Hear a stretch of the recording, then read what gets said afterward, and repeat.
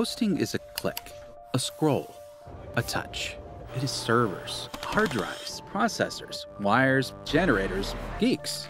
It is the internet. Hosting is web builders, domains, email, e commerce. Hosting is a phone call, a friendly expert. It is 24 7.